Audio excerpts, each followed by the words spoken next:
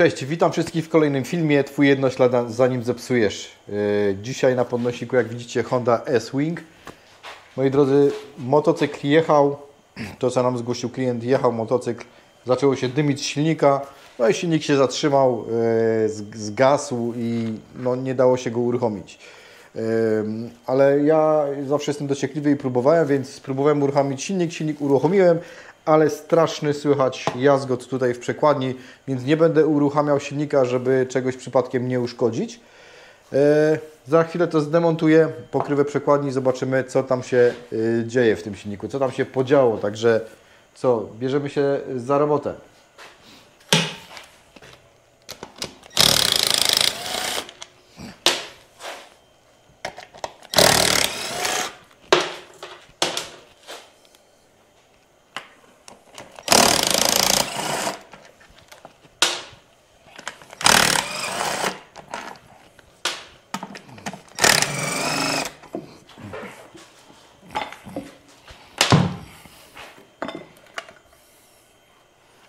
Tadam!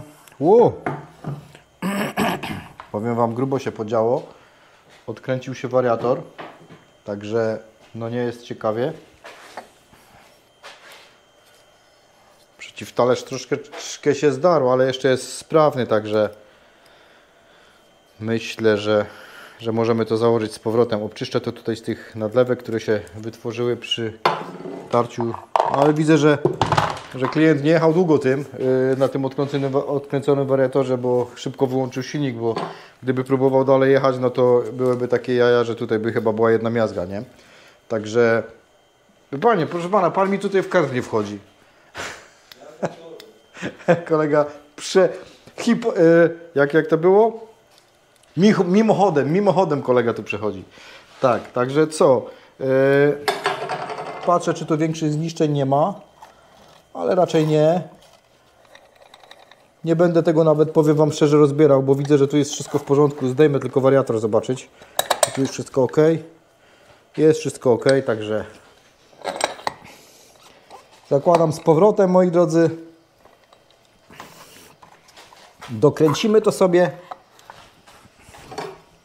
I myślę, że to cała, cała usterka tego. Dobra, miałem to tutaj wyczyścić, więc te nalewki sobie tutaj zdrapię.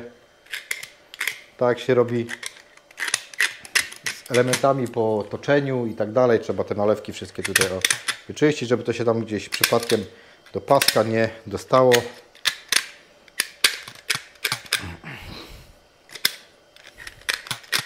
Wiem na pewno, y, znajdą się osoby, które powinny, które, które powiedzą, że no, powinno się na kleju wkręcać takie śruby. Ech, Kurczę, i tak i nie powiem Wam szczerze, y, sam nie wiem. Mm, Nie patrzałem jak jest napisane w serwisówce, ale nie zamierzam kleju stosować, ponieważ no, nigdy tego nie robię i wszystko jest ok. Wydaje mi się, że po prostu zbieg okoliczności, że to się gdzieś odkręciło, jakiś mały Mała siła do kręcenia może była, trudno mi powiedzieć. Dobra, mam to wyczyszczone, ja to składam z powrotem. Zobaczymy jaki będzie efekt. No nie, no, powinno być ok. Sprawdzę jeszcze stan śruby i gwintu na nakrętce, stan nakrętki i gwintu. Wszystko jest ok. W najlepszym porządku, zobaczcie.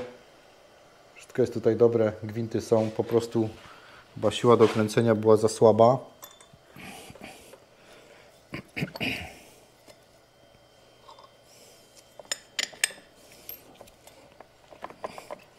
Ok. Wariator nie ucierpiał, także całe szczęście nie będzie kosztów, tylko koszt przykręcenia tego. Rozebrania, przykręcenia. Dobra. Lecę po mój sprzęt do dokręcania i za chwilę wracam.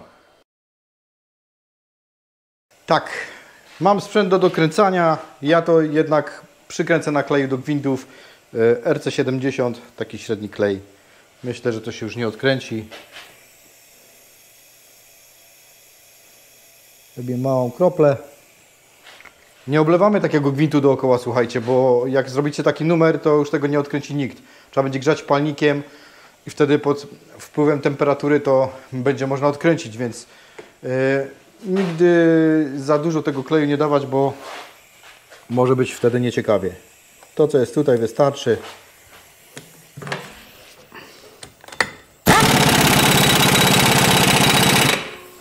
Dokręcam jeszcze profilaktycznie sprzęgło. Myślę, że nie powinno się już nic dziać. Dobra, spróbujemy uruchomić silnik, czy tu wszystko w porządku jest.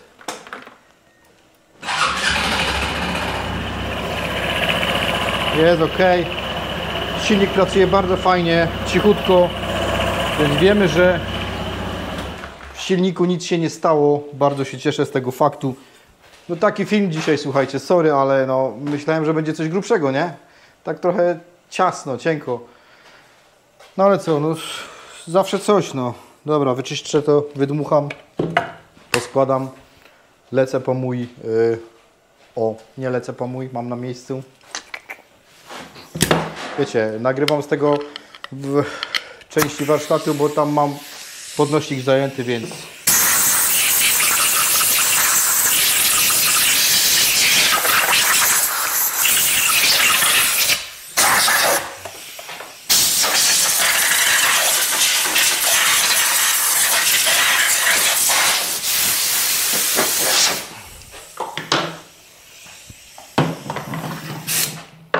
O, wyczyszczone, wydmuchane z kurzu.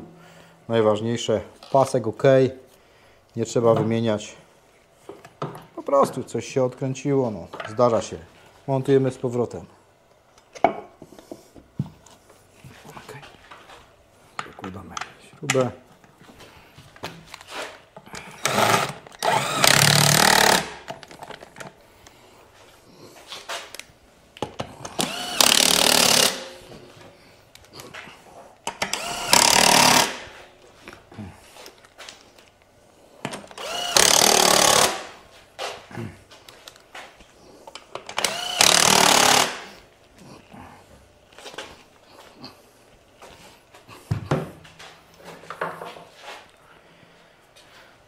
Teraz jeszcze ostatnia próba po zamontowaniu pokrywy, e, po zamontowaniu pokrywy przekładni CVT. Czy coś nam tam nie brzęczy, nie dźwięczy. Cisza. Jest elegancko. Jest baja. Tyle, kurczę.